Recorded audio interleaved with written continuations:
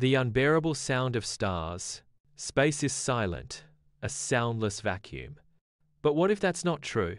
What if the universe is filled with a horrifying noise, a symphony of stellar creation and destruction that we are simply unable to hear? A symphony of cosmic violence. Stars are unimaginably violent. A star's life is a constant, raging fusion reaction that should be deafening. The supernova of a dying star is a deafening scream. The only reason we don't hear this is because sound can't travel in a vacuum, a medium that allows us to hear. What if there were a medium that allowed us to hear? The noise would be a constant, overwhelming cacophony.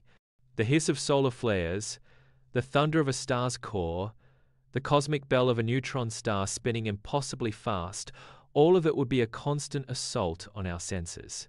The sound that drives us mad. The sound of stars would be pure, unadulterated noise. It would be a frequency beyond our ability to process, a white noise so intense it would scramble our brains.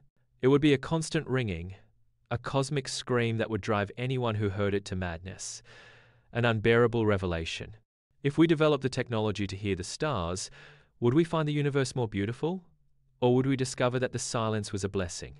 The cosmic silence we take for granted might be the most profound and terrifying mercy the universe has ever shown us. The possibility that the stars are screaming forces us to consider that our human senses may be a form of divine protection.